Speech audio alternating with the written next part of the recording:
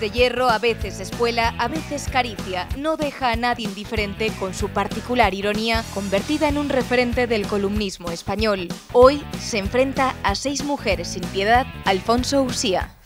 El amor por la palabra corre por sus venas. Alfonso Usía no pasa un día sin escribir con pluma afilada sobre los asuntos más candentes de la actualidad.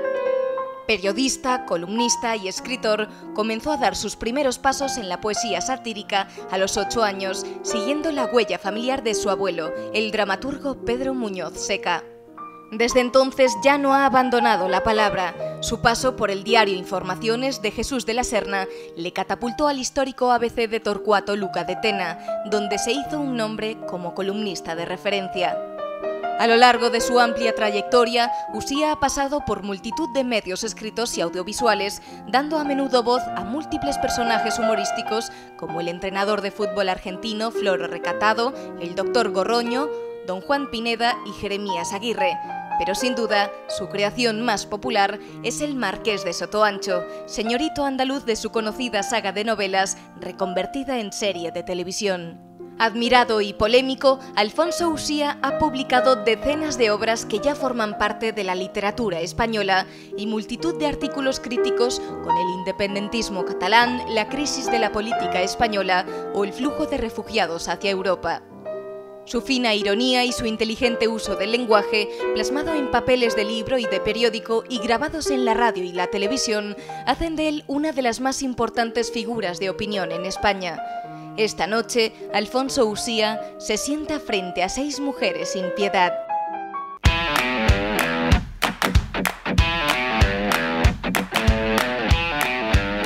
Muy buenas noches, don Alfonso Usía. Bienvenido al plato de Seis Mujeres sin Piedad. Espero que se divierta, que se entretenga y que disfrute y se sienta cómodo. Me gustaría empezar hablando de sus estudios. Sabemos que usted empezó estudiando Derecho, que se le interrumpió la carrera militar, posteriormente se inició como estudiante de Ciencias de la Comunicación, pero de la Información, pero no terminó. ¿Nos podría contar por qué? Vamos a ver. Eh, yo ya en, aquella época yo, fui muy precoz, yo ya escribía y ya, y ya publicaba. Y entonces yo decidí que eh, yo había leído mucho, yo había estudiado mucho, eh, me había formado a mí mismo y dije, bueno, ¿y yo por qué voy a...? Si yo esto no lo voy a necesitar. De hecho, usted se ha convertido en una de las figuras más reconocidas eh, hoy en día en España del periodismo. Hemos leído muchos artículos, eh, hemos, eh, sabemos de sus novelas, etc. ¿Algún día se llegó a imaginar esa grandeza? La verdad es que no. Yo lo que pretendía es, es pasar por la vida dignamente. Creo que lo he, creo que lo he conseguido. Pero tampoco, tampoco he alcanzado la, la grandeza. La grandeza es una. La grandeza está muy lejos, está muy lejos, está muy alta. Está muy alta. Eso, eso en este mundo de la literatura la, la consiguen muy pocos. Don Alfonso, una pregunta que no le hayan hecho nunca en ninguna entrevista y a la que le apetezca contestar. Uy, qué difícil, porque yo creo que me han hecho todas las preguntas eh, habidas y por haber. Eh, por ejemplo, por ejemplo, ¿qué podría ser? Eh, ¿Le hubiera gustado ser el rey de España? ¿Le hubiera gustado ser rey de España? No. Muy bien, respuesta precisa. Eso escucha. Periodista, articulista, columnista, ¿le falta algún ista que añadir a su descripción personal, como por ejemplo deportista, comidista? Hombre, fui, fui un gran deportista. Yo jugaba muy bien al, al tenis en mi juventud. Mi pareja en los campeonatos mixtos era Esperanza Aguirre. Y, yo tenía que, trabajar el doble porque Esperanza era, era, era muy torpe, era muy lenta cuando, cuando le hacían un lob, cuando le, tiraban por, por arriba. Y luego he jugado muy bien al fútbol y, y ahora juego mucho en, en mi tierra adoptiva, que es y adoptada, que es Cantabria, juego mucho en verano a los bolos montañeses, que es un deporte de hombres. ¿Y que no sea deportista, otros ista, para que le, conozcamos más? pues soy, ¿Qué le gusta? Soy esteticista. en sus ratos libres, ¿no? en ratos libres. Eh, y no, yo creo que no tengo más. No tengo masistas. Eh, eh, no podría tener masistas. Yo soy un, soy un esclavo de la... Antonio Burgos dice que los, los columnistas somos los últimos esclavos atados a la columna. Eh, yo llevo en estos momentos, que otro día lo conté, aparte de unos días que descansé hace muy poco, yo llevaba 22 años sin dejar de escribir ni un día. Rubinstein, el pianista, que era un genio, decía que si él dejaba de tocar un día el piano, lo notaba él. Que si dejaba de tocar dos días el piano, lo notaban los críticos. Y que si dejaba de tocar tres días el piano, lo notaba el público. El puñetero que hacer este diario de escribir es, es muy duro, porque efectivamente si dejas de escribir dos días, pierdes eh, la fluidez, pierdes el, el sentido, la oportunidad, eh, todo. Es, un, es una esclavitud, pero también es un vicio. Y un vicio, en mi opinión, prodigioso. Usted proviene de una familia aristocrática. ¿Cómo recuerda su niñez en pleno franquismo? Felicísima. Felicísima. Éramos, éramos diez hermanos. Eh, mis padres eran unas personas estupendas y, y- y noto, bueno, yo recuerdo, yo recuerdo mi, mi infancia con, con absoluta añoranza. Eh, no, eh, yo no entendía de franquismo, no franquismo. Mi casa el, el franquismo además no existió porque mi padre era un hombre de confianza de, de don Juan de Borbón, que estaba en el exilio. Para nosotros era el rey. Y, y- y por lo tanto, eh, pues, hombre, fui tan, tan feliz que no me planteé nunca si estábamos en el franquismo, ¿no? Bueno, le viene de familia de todas formas querer escribir. Eh, ¿Recuerda el momento en el que le surge a usted la chispa de niño para poder escribir? Mi primer poema se lo dediqué al cirujano que me operó de apendicitis cuando me desperté de la anestesia. Era el doctor Plácido González Duarte, que era un, era un manitas. Eh, los diez hermanos estamos operados de, de apendicitis. Es una cuestión genética. Y yo fui el último. Y cuando, cuando me desperté, yo creo que me operaron a los ocho años, le dediqué, le dediqué los versos. Lo que, lo que sí sé es que en mi, en mi, en mi biblioteca, mi biblioteca pequeña, cuando yo tenía 11 o 12 años, pues, eh, pues ya estaban los, los eh, maestros del 98 y los poetas del 27 y, y siempre me apasionó la poesía. La poesía ha sido el camino, el instrumento por el que yo he entrado a la literatura. Y don Alfonso, ¿se ha planteado alguna vez dedicarse a la política? Me lo ofrecieron, me lo ofrecieron al principio, cuando en la época de, de UCD, y tuve el acierto de contestar que, que no. ¿Por qué? Primero porque no me considero un servidor público. Eh, me considero ante todo servidor de, de mi familia y de los que, y de los que me rodean. Eh, la política la tengo que tratar y la tengo que criticar, elogiar o, o ponerla a parir eh, a medida que va sucediendo por mi obligación eh, de crítico, de columnista pero la política por dentro no me gusta, no me gusta nada.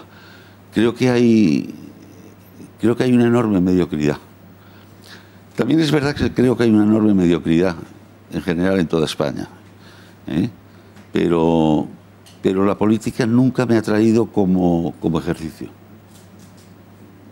De su libro El Tratado de las Malas Costumbres, usted habla De las buenas maneras.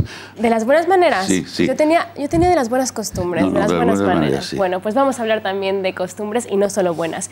Eh, en este libro usted habla de, de, bueno, de, de cómo tratamos las costumbres, de cómo tratamos eh, las frases hechas. ¿Pero se inspiró en alguna de sus malas costumbres para este libro? No, vamos a ver. Ese tipo de libros, había mu- muchos que se escribieron totalmente en serio en el entre siglos, entre el 19 y el, y el 20, que los lees ahora y te mueres de risa realmente de lo que... eh, eso unido también a otros- otra serie de publicaciones religiosas. Había una, por ejemplo, que alcanzó un millón de ejemplares vendidos, que se llama Para salvarte, del padre jesuita Jorge Loring, en el que explicaba que para salvarte había, al bailar, tenía que pasar una, una franja de aire entre el cuerpo del hombre y el cuerpo de la mujer. Bueno, y entonces yo me di cuenta que todo eso había evolucionado. Y entonces yo escribí un libro, escribí un libro para divertirme. Fíjate eh, cómo sería la cosa, que cuando eh, me llamó el Planeta para, para editarlo, pues había enterado, yo les pedí que la primera edición que fuera, no pensaba en otra, mínima, porque me daba vergüenza, eh, porque ese libro lo iba, lo iba a comprar mi familia y mis, y mis amigos. Y se, entre, un- entre unas ediciones y otras, eh, de ese libro se vendieron más de 700.000 ejemplares. Sí. Lo pasé muy bien. Luego, como la gente no tiene sentido humor, pues, pues me llamaban, de pronto me hacían una entrevista creyéndose que yo era un experto en protocolo. Eh, una, una radio en Cataluña, una señora muy que hablaba de una forma muy impertinente me preguntó si era lógico, porque yo es- escribía que el que al que eh, estira el café meñique, el dedo meñique en el- tomando café, había que amputarle el, el dedo. Y me preguntaba esta señora que si, eso- que si no me parecía una barbaridad eso. Digo, pues señora, claro, barbaridad, pero es que usted no sé cómo ha leído este libro. Si usted, si usted este libro lo lee en serio, entonces, entonces no es que me haya que, haya que encarcelarme, es que hay que ajusticiarme en plaza pública. Y hablando en serio, ¿tiene usted alguna mala costumbre? Muchísimas. ¿Una de ellas? Soy maniático. Pues, por ejemplo, tengo que escribir siempre con los mismos zapatos. Sí. Pero de tal manera que si no tengo esos zapatos que no se me ocurre nada.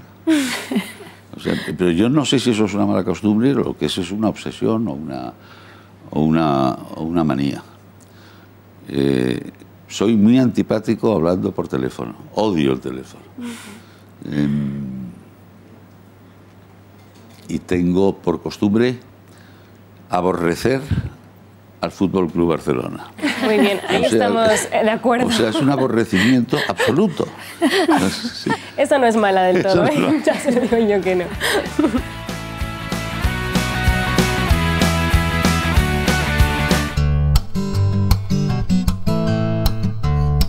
Sisley patrocina este espacio. Don Alfonso, ha estado usted muchas veces enmarcado en la polémica. De hecho, en 2004 tuvo que abandonar el diario ABC porque le censuraron su artículo El cerdo vasco. ¿Usted cree que si ese artículo hubiese tenido otro título, se lo hubiesen publicado? No, es que no era el título así. ¿O no era así el título? No, eso ha habido una equivocación. El, el título era Y ahora el cerdo. Vamos a ver. La Consejería de Agricultura del País Vasco empezó a sacar eh, en, el boletín oficial del País Vasco eh, las características de los animales autóctonos eh, de, la- de aquella zona, entre, ellas la abeja vasca. Es decir, la abeja vasca, pues, yo no había oído nunca hablar. La oca vasca, la gallina vasca, la goligorri, goligorri quiere decir cresta roja, etcétera, etcétera. Y ya al final sacaron las características del cerdo vasco. Y entonces yo publiqué, y ahora el cerdo. Cerdo vasco que tenía como característica que las, las vértebras las tenían muy separadas. Y yo decía que, que eso sirve, le sirve a un cerdo solo para bucear, pero no para, para, otras, para otras cosas. El que manipuló el título de ese artículo fue el propio director de aquella época de, ABC, José Antonio Zarzalejos. Pero no, el artículo nunca se llamaría El cerdo vasco. Entre otras cosas porque mi padre eh, no, era vasco hasta las cachas, euskoparlante y, filólogo, filólogo de, los, idiomas, de los lenguajes euskéricos, que la gente habla del, del euskera, el euskera nunca ha existido. Ha habido seis, siete dialectos vascos, guipuzcoano, vizcaíno, alavés, roncalés, benavarro, suretino y laburtano. De tal modo que en la antigüedad, por ejemplo, un vasco de vizcaíno, un vasco de Bermeo, con un vasco de San Juan de Luz, en Francia, se entendía perfectamente porque el, la línea de, de información era el mar, no era insalvable.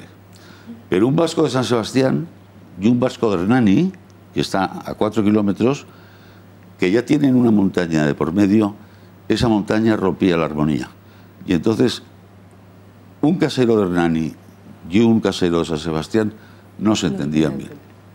Entonces, ¿cree que fue una excusa para poder librarse de usted el hecho de cambiar el título del artículo? Vamos a ver, había una parte del Consejo de Administración de ABC, las la familia Lucaetena, eh, Fernando Satrústegui, eh, José María Guerra Zunzunegui, que estaban indignados con, con que yo me fuera. Pero yo creo, yo creo que eh, sí pudo responder a un deseo del nuevo grupo que había entrado en ABC, porque yo le resultaba eh, un poco molesto. Quizá una amenaza, un...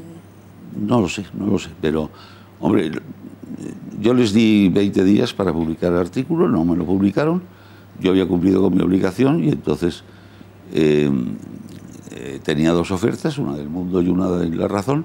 Me ilusionó mucho La Razón porque era un periódico que estaba, que estaba emergiendo y me fui a La Razón y aquí sigo tan feliz.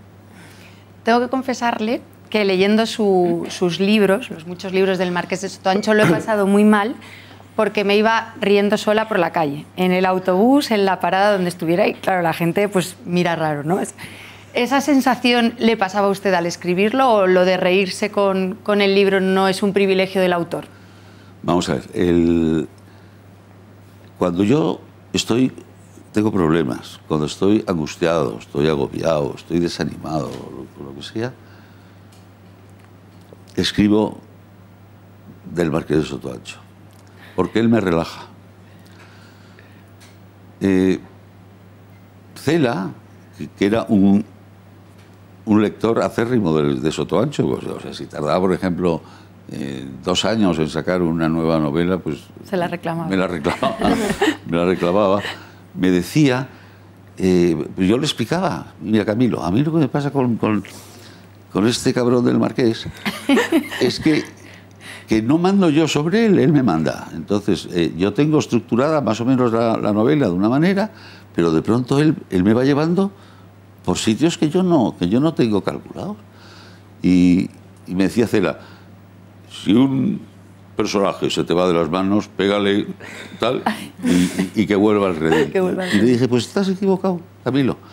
Yo creo que si un personaje se te va de las manos y te obliga a escribir lo que quiere él, es que está vivo. Está vivo.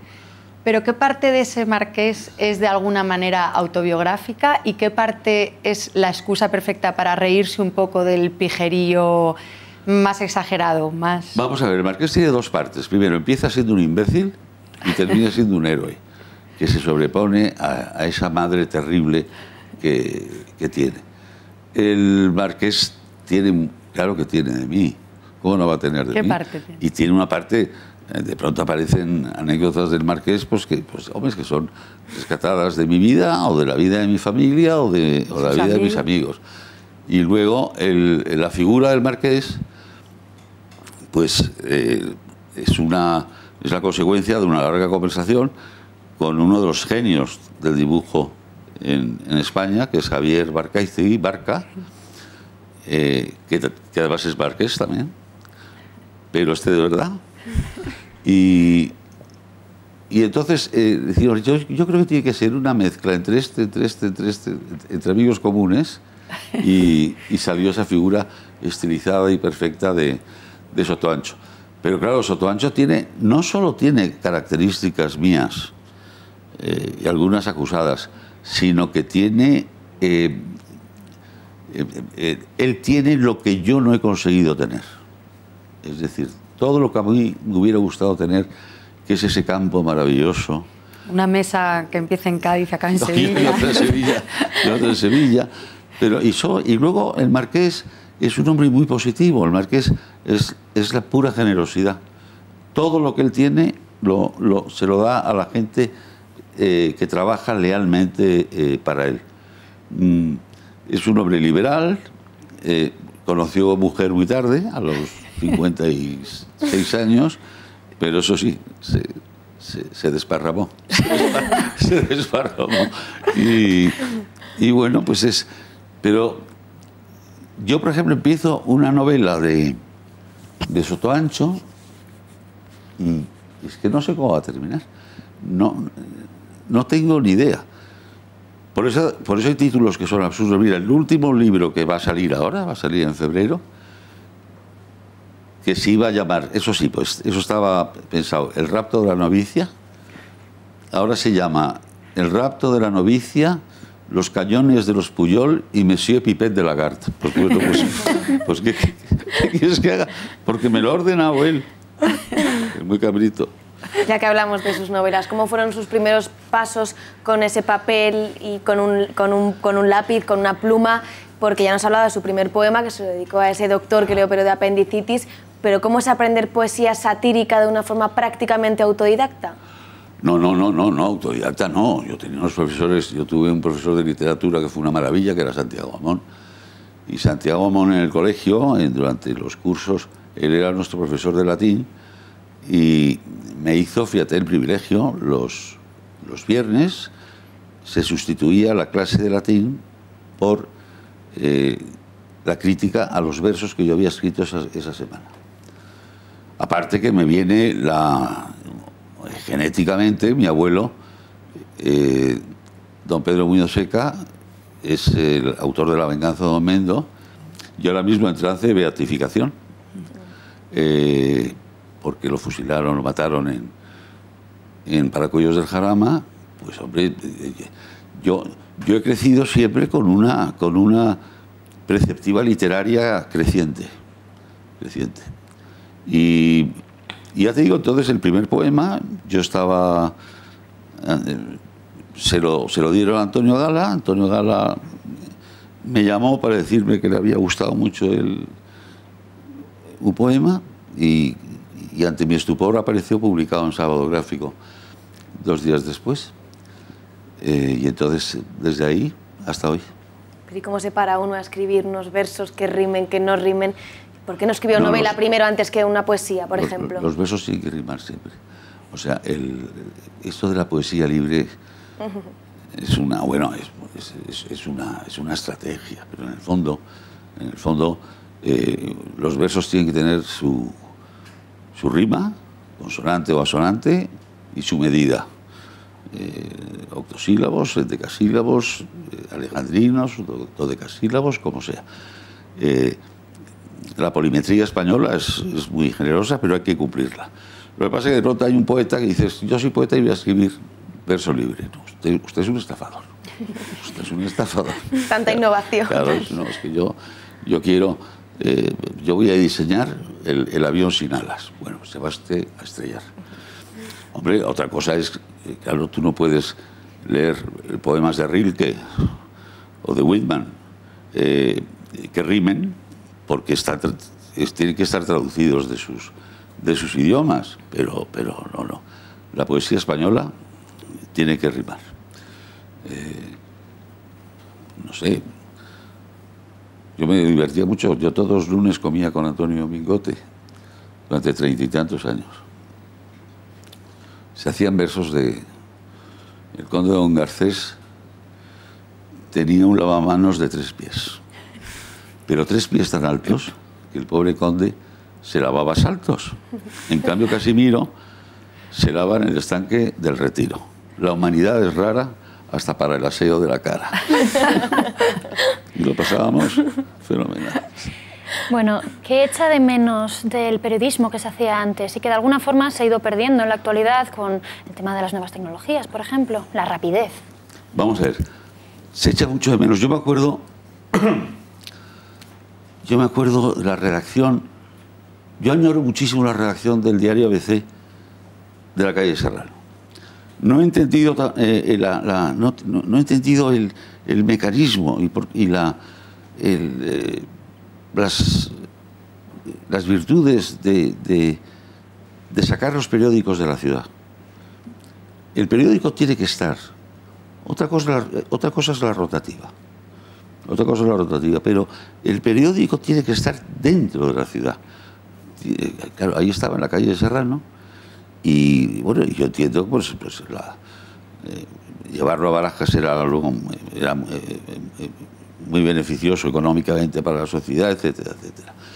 Pero yo lo que echo de menos es el ambiente de la redacción. O sea, ahora entras en, la en las redacciones y parece que entras en granjas estabuladas.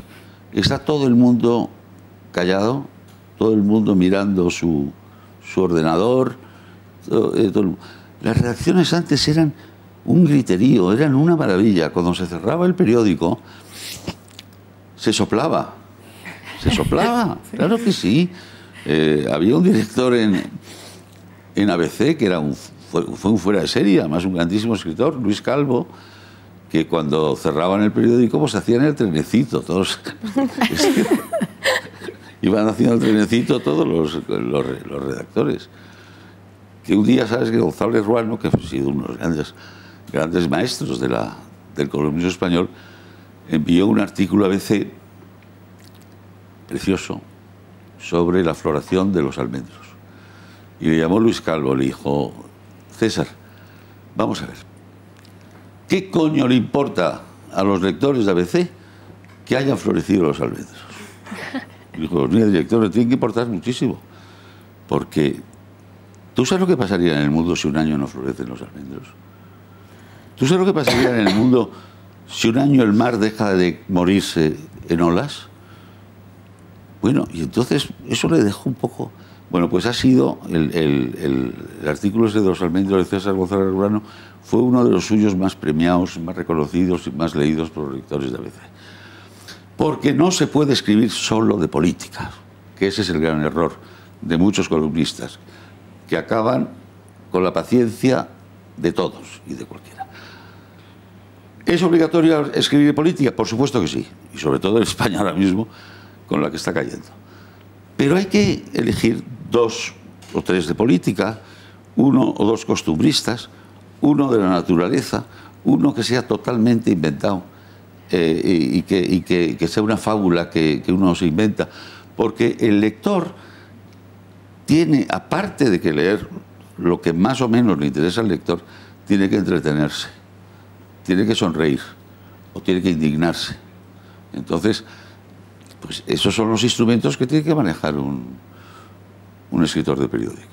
Don Alfonso, don Alfonso, la gente es muy adicta a todas sus obras y a todo lo que escribe. ¿Qué tienen sus obras y sus personajes que enganchen tanto a los lectores? Pues yo creo que son de verdad. O son tan de mentira que parecen de verdad. Eh, yo incluso en los, en los artículos más amargos, en esos artículos en los que eh, se habla de algo o se escribe de algo que ha ocurrido y que ha entristecido eh, eh, pues, a toda la sociedad, intento meter dos o tres eh, rasgos de humor, porque, porque a la gente no se le puede hacer, no se le puede hacer sufrir. Si ya el sufrimiento lo llevan dentro, pues no, no, no lo acrecientes. Eso sí, si, si- se escribe de un hijo de puta, pues hay que decirle que es dos veces hijo de puta. Eh, él ya lo sabe, pero hay que decírselo dos veces para que sepa que a nosotros no se nos olvida que lo es. ¿eh? refiriéndome a todos los que utilizan la violencia contra los demás, al terrorismo, etcétera, etcétera, o a los que juegan con, con el futuro de, de toda una comunidad maravillosa y una nación de, de facto de más de 500 años, pero de, en realidad de mil años, que se llama, que se llama España. Acumula usted ya bastantes premios de literatura, poesía, me podría enumerarlos, pero bueno, son bastantes. Pero ¿cuál, cuál haría especial ilusión recibir que todavía no tenga? Vamos a ver, yo tengo, bueno, tengo el Cavia, que es lo más, tengo el González Ruano, tengo el, el Foxá, tengo el... Yo, el premio que más me gustaría recibir, ¿sabes cuál es? A la mejor faena de San Isidro. Pero es imposible. Es imposible. Un señor es gratis, ¿no? Es, impo- es imposible. O la mejor ganadería, o el premio al mejor jugador de bolos de Cantabria. Bueno, eso es posible, si todavía to- to- algún no, verano... No, no, no, no hay posibilidad, no hay posibilidad. Yo creo que lo que más añora uno siempre es lo que, lo que no puede hacer, lo que no puede conseguir. Entonces, en este mundo loco de la literatura, pues sí te pueden dar un premio. Es un premio literario. Eh, Dura, dura lo- la alegría de que te den el premio. Hay tres alegrías en un premio literario. Primero que te lo den, sobre todo si es un premio con prestigio. Segundo, pensar en los jodidos que se quedan a los que no lo han dado. No se lo han dado. Y el tercero, pues, pues hombre, si hay dinerito, pues lo que te dura el dinero, y nada más. Luego ya uno pasa a volver a pertenecer al, al, al- al mundo de los que están con, con los pies sobre, sobre la tierra. Don Alfonso, y ahora para hablar un poco de política, de polémica, ¿qué le parece a usted que la izquierda pueda decidir sobre quién es un preso político y quién no? Bueno, pues eso es una estupidez. Eso no, pero eso, eso, eso es pura. Eso es estrategia. Ellos saben perfectamente. ¿Usted cree que esto se debe, eh, esta contradicción se debe a una estrategia? Hombre, claro, ellos saben perfectamente que no. Hombre, el, el otro día el fiscal hmm, general del Estado tuvo. Dijo algo que es, que es que es la realidad. El Estado de Derecho ha tenido una enorme paciencia con, con Cataluña. Llevan cinco años riéndose del resto y despreciándonos al resto de los españoles. Me estoy refiriendo al catalán independentista, ¿eh? no al maravilloso catalán que ha, que ha reaccionado eh, y ha salido a, a la calle. Han desobedecido al Tribunal Supremo, han desobedecido al Tribunal Constitucional. Es decir, eh, un Estado cualquiera, Francia, bueno, eh, en, en caso de tener un 155 en la Constitución, que lo tiene también, entre sus normas, eh, Francia hubiera a- aplicado el 155 hace dos años o tres años. Bueno, y nosotros nos hemos encontrado con esta, con esta situación, con estos locos y con estos mentirosos que ahora están hablando de que son presos políticos. No, son políticos presos. Son políticos presos por delincuentes. ¿eh? Como es político preso por haber delinquido, presuntamente, porque todavía no lo han juzgado, el señor González del Partido Popular, que está en la cárcel, o el señor Granados del Partido Popular, que está en la cárcel, o los señores Roldán del PSOE, o la directora general del Boletín Oficial del Estado del PSOE, son presos, son políticos presos por haber delinquido durante el ejercicio de su política. Y nada más. Seguimos hablando de Cataluña. Muchísimos de sus artículos son auténticas armas arrojadizas contra el independentismo, tanto el catalán como el vasco. Pero mm, dejando de lado el humor o la ironía con que se puede tratar en, una columna de prensa, eh, ¿cree que se ha dado demasiada cuerda por parte de- del gobierno de Madrid, como dicen ellos, a, las ambiciones separatistas? ¿Que se les ha ido la mano con la broma? No, hombre, no. Como Se, les, se les ha ido la mano con la paciencia. No, no, esto se tendría que haber, se tendría que haber solucionado eh, eh, mucho antes. Y además eso hubiera reanimado y hubiera animado a esa mayoría de catalanes que están en contra de la independencia a, haber reaccionado antes. Eh, yo creo que hay que agradecerle mucho a Puigdemont, muchísimo lo que, lo que ha hecho, porque nos ha vuelto a unir a muchos españoles, ha vuelto a unir a la, al- a, la derecha, a la derecha moderada, al centro, a la izquierda moderada. Es decir, Puigdemont eh, eh, ha vuelto a resurgir el resurgimiento de España como aquel, como aquel goldiniesta. La independencia es una, es una tontería, ya más menos ahora, pero en fin, eso habría que hablar mucho. Yo me acuerdo, eh, uno de los, de los versos que más disgustos me, causaron, eh, fíjate, todavía escribía el sábado gráfico yo, eh, Teresforo Monzón, que es uno de los padres del nacionalismo, del separatismo vasco, él dijo que, que, él era extranjero. Y entonces yo le escribí unos versos que se llamaban El extranjero.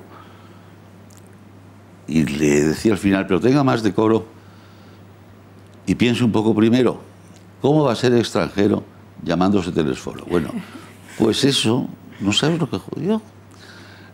el, el independentismo es dogmático y el dogma no tiene sentido del humor. Y entonces, si tú tratas el, dogma con sentido del humor o lo, modelas, eh, a ellos se les escapan todas las posibilidades de argumentales. Y son eh, falsarios, y son histéricos, y son violentos. Yo creo que hay muchos independentistas que se les ha pasado por la cabeza la idea de matar. Y a mí no se me pasa por la cabeza la idea de matar a nadie. Ni a ti, ni a ninguno de los que estamos aquí. Y otro punto polémico, don Alfonso, ¿en qué momento se encuentra la monarquía española? ¿Qué agrieta la corona? La corona no agrieta nada. Vamos a ver. Hay muchas maneras de ser monárquico. hay uno que es la histórica. España es una, es una nación eh, con una dinastía de reyes larguísima.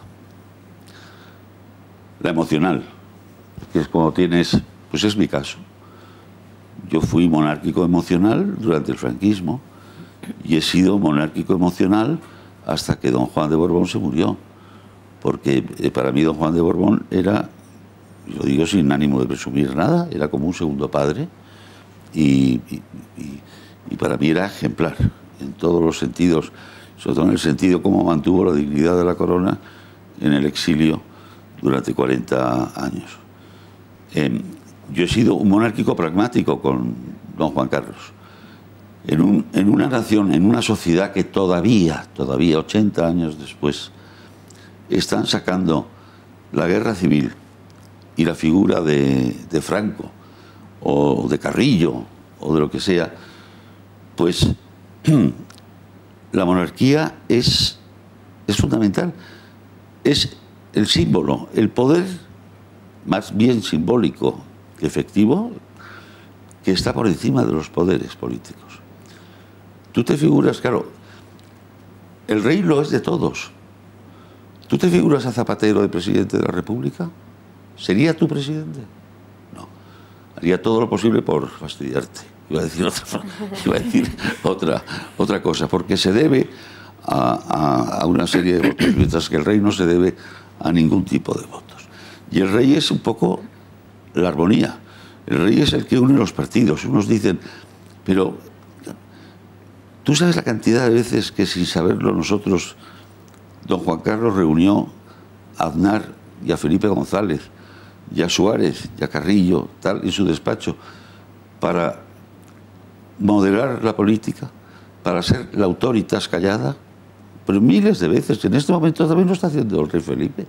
Y yo creo que la monarquía en España, aparte que históricamente está perfectamente fundamentada, la monarquía de España es muy necesaria porque somos un país enfrentado todavía. Hablando de, precisamente de esto, de la monarquía, ahora con la llegada de grupos políticos como Podemos, de los que estaba hablando, si hicieran un referéndum entre monarquía y república, ¿qué cree que saldría? ¿Podemos? En, un referéndum. Yo creo que saldría, yo, creo que saldría la monarquía, eh, ganaría por goleada. Hombre, si votan solo los de Podemos, no. ¿La sociedad española entonces sigue siendo monárquica? No, no, no, no, no. No es que sea monárquica. No. Yo creo que la sociedad española ve el provecho de la monarquía. Los sentimientos monárquicos son, es otra cosa, es diferente. No hay que ser monárquico para ser partidario de la monarquía.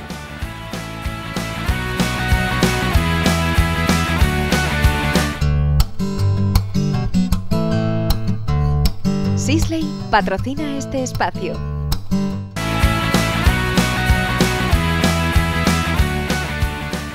Don Alfonso, en numerosas ocasiones ha calificado a Mariano Rajoy de cobarde. ¿Es la cobardía el mayor defecto de nuestro presidente? Bueno, más que cobarde lo que es es, es, lento. Es muy lento. Yo creo que en muchas ocasiones, si, si el presidente Rajoy eh, hubiera reaccionado un poco antes, eh, nos, hubiera ido, nos hubiera ido mejor. Pero no hay que olvidar que cuando toda España, incluso el 90% de los grandes empresarios, eran partidarios de pedir el rescate, él tuvo las narices de no, de no pedirlo. Y nos salvamos del rescate. Eh, y claro, pues los resultados, los resultados eh, lo dicen por sí solo. La aplicación del 151.5 al, al, al golpe de Estado de los independentistas catalanes, pues quizás ha sido tardío, pero ha sido eficaz. Ha estado bien, bien, bien programado. Ahora, me, me gustaría un presidente más, más activo. La inmigración musulmana es otro de los temas que toca en sus artículos, sin demasiada corrección política, hay que decirlo. Si usted fuese ministro por un día, ¿qué política migratoria aplicaría? Hombre, desde luego, una política muy selectiva. Y no, además, no, tengo ningún, eh, ningún temor a reconocerlo. Eh, eh, creo que España, como país rico, porque somos de los países más ricos del, del mundo, España está obligada moralmente, porque son nuestros hermanos, a recibir a la inmigración americana, con preferencia absoluta. Entre otras cosas porque están en nuestras costumbres, están en nuestra historia y están en nuestra forma de, de vivir. Pero, pero lo que no se puede admitir es que eh, eh, Europa, con, un, eh, con unos, una, una, bondad, la puta Europa, no sé quién decía, con una bondad incomprensible, pues se está dejando dominar cada vez más por una inmigración que no solo no quiere contribuir al bien del país que lo recibe, sino destrozar las costumbres del país que lo recibe. ¿eh? Y hay que acordarse de que el refranero español es el refranero de la sabiduría popular. En el refranero español no están las grandes plumas, está lo que dice el pueblo. Y cuando el español quiere advertir a otro o quiere anunciar a otro que no hay peligro en su entorno, dice, no hay moros en la costa. Don Alfonso, ¿se arrepiente usted de algo que haya escrito alguna vez? Mucho. Me arrepiento de muchas cosas y, y muchas veces. ¿Nos podría contar algo de lo que se arrepienta? Pues mira, yo me, arrep me arrepiento... De haber escrito, claro. Yo me arrepiento de haber escrito un, un soneto brutal y misericorde contra un político que fue un dechado, que es un dechado de honradez, de honestidad y de, y de consecuencia con, con su vida y sus ideas, que es Pablo Castellano, y que ahora somos, somos grandes amigos. Eh, son, son muchas veces, si tú me preguntaras, eh, ¿te acuerdas de las veces que has acertado en un artículo? Yo tendría la, falta, la misma falta de memoria que con la pregunta de las, las, veces que no has acertado. Pero de ese sí, sí, sí, sí lo recuerdo. Sí lo recuerdo. Y luego quizá, pues, pues eh, muchas veces eh, he perdido el tiempo escribiendo de personas que no merecen la pena. Es... Eso también te das cuenta después. Ha cosa. sido y es célebre amigo de muchos hombres célebres y hablaba antes de su, de su amistad y de aquellas comidas semanales con, con, Con Mingote, Antonio. con Antonio Mingote. Usted en la vida lo ha tenido todo porque también ha encontrado el amor, pero pongamos que, que hubiera tenido que elegir entre tener el amor o la amistad en la vida, ¿con qué se habría quedado? Hombre, yo creo siempre con el amor, ¿no? Porque además el amor, al cabo de los años, se convierte en amistad también. ¿Eh? Y con Antonio Mingote eh, comíamos todos los lunes en, un restaurante, en la misma mesa de un restaurante del, que hay en la calle Alcalá, que se había, se llamaba el Club 31. Y un día estábamos, íbamos siempre muy pronto, abríamos el restaurante. Y un día llegó un señor con una pinta estupenda con un chico joven, también con muy buena pinta, se sentaron al lado. Y de pronto se abrió la puerta de entrada y apareció Luis Escobar, que era un personaje maravilloso. Y Luis Escobar, al vernos a Mingote y a mí, nos hizo así como diciendo, voy corriendo a tomar una copa. Y al pasar por donde estaban ese señor mayor y ese chico, eh, pues se, lo reconocieron, se levantaron. Hola Luis, hombre, hola, ¿cómo, cómo estáis? ¿Cómo estáis, queridos? Y le dice el señor mayor, eh, mira Luis, te voy a presentar a mi sobrino. Y dice, no hace falta que me lo presentes porque fue muy, mi sobrino la semana pasada. Eso era. Luis Escobar era un, era un personaje eh, genial. Don Alfonso, Qué cosas. que- desde que en 1979 publicara usted su primera obra, prácticamente ha sacado un libro por año, a buen ritmo. En febrero nos ha contado ya que lanza una nueva obra, nos ha dado su título. Cuéntenos algo más de esta nueva obra que saca a la luz. Bueno, es una obra de Sotancho, pero yo estoy escribiendo desde hace muchos años y además con un, con un apoyo documental impresionante, porque de las 2.000 fotos en las que hay que elegir, no hay ninguna que, esté, que sea conocida ni esté publicada, una, una especie como de retrato humano de don Juan de Borbón, que se llamaría Al lado de don Juan, desde la infancia hasta, hasta su muerte, desde la infancia mía. Eh, y estoy escribiendo la antología de El árbol y de la antología de la luna en la poesía española. Está la antología de- del amor, está la antología, que las, eso las escribió el padre de, de Blecua, el que fue eh, director de la Real Academia, la poesía en los pájaros, en las flores, en el mar, eh, la poesía el- erótica, la poesía mística, la poesía- pero del árbol, de ese ser milagroso que es el árbol, y de la luna, que es supuestamente la inspiración melancólica de los poetas, nadie, nadie ha recogido los poemas. Y claro, me metí en un lío, porque no os podéis imaginar la cantidad de poetas que hablan de la luna.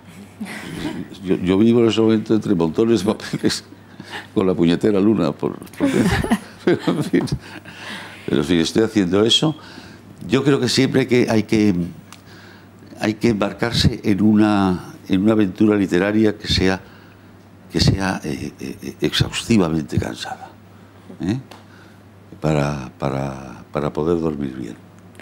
Don Alfonso, ¿y a qué escritor admira más actualmente?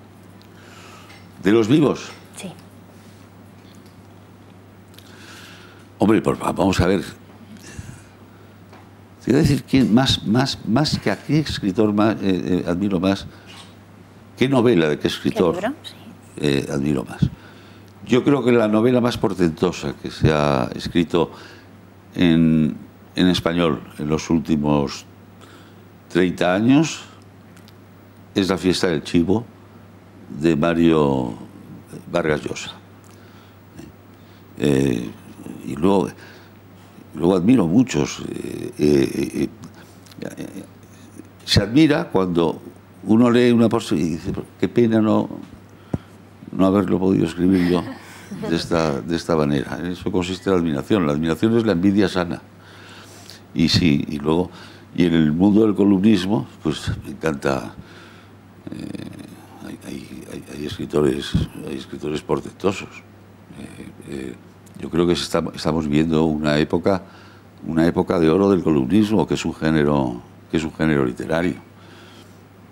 Y luego yo me siento muy influido mucho por el por la literatura inglesa de entre siglos, por, por Woodhouse, anteriormente por Oscar Wilde, por eh, eh, había una escritora maravillosa, americana, pero, pero instalada en, muy vaga, que se llamaba Anthony Clifford Barney, que era el talento personificado, con una mala uva, como no os podéis ni imaginar. Es la que definió, dijo, que la feminidad y el feminismo no es cuestión de sexos, porque un francés siempre ha sido más mujer que una inglesa.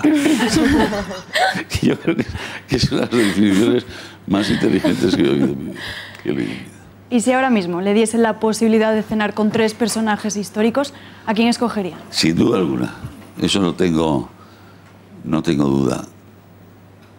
San Juan de la Cruz, que es la poesía.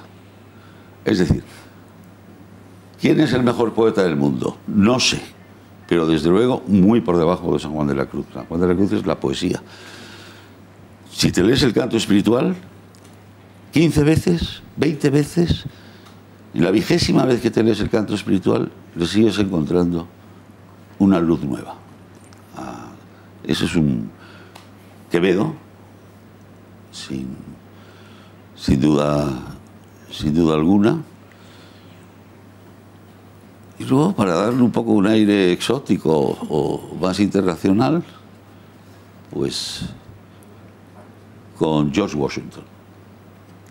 Quevedo, Washington y San Juan de la Cruz. Porque la cosa quedaría muy bien con Washington, que no se enteraba de nada, pero ahí presente, que es, que es bonito tenerlo, Quevedo hablando y San Juan de la Cruz de vez en cuando opinando. Don Alfonso, hemos, eh, tenemos que llegar ya al final del programa. Ha sido un placer tenerle en el plató de Seis Mujeres sin Piedad y espero que haya disfrutado y que se haya sentido cómodo, como le he dicho al principio. He disfrutado muchísimo. Estaba aterrorizado al principio y ahora estoy feliz por haber venido. Pues muchísimas gracias por haber venido. Sido un placer.